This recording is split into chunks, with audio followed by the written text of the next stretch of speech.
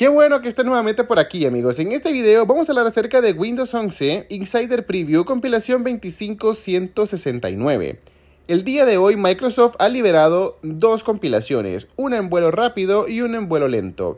Estamos hablando Developer y Beta.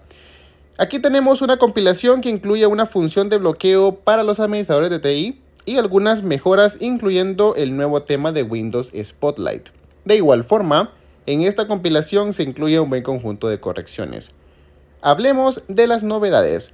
Modo kiosco multiaplicación. En sí, ¿qué es el modo kiosco multiaplicación? Es una función de bloqueo para Windows 11 que permite a un administrador de sistemas seleccionar un conjunto de aplicaciones permitidas para ejecutarse en el dispositivo. Algunas personalizaciones de bloqueo incluyen limitar el acceso a ajustes, excepto las páginas seleccionadas, por ejemplo, Wi-Fi y brillo de pantalla. Bloquear el menú de inicio para mostrar solo las aplicaciones permitidas.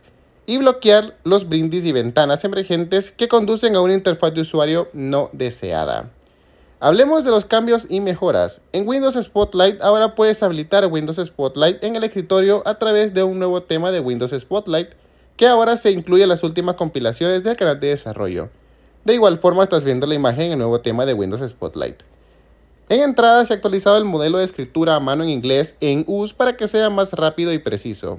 En ajustes, la configuración ahora admite la gestión de aplicaciones que antes solo eran compatibles con el panel de control. En seguridad de Windows, la versión de la aplicación de Windows Security ahora muestra en la configuración de Windows Security acerca de. Hablemos de las correcciones. En barra de tareas se ha corregido un bloqueo de Explorer.exe que impedía que la barra de tareas se cargara al iniciar reuniones de Microsoft Teams a veces. En inicio se ha corregido un problema que eliminaba el botón más en la sección recomendado para empezar.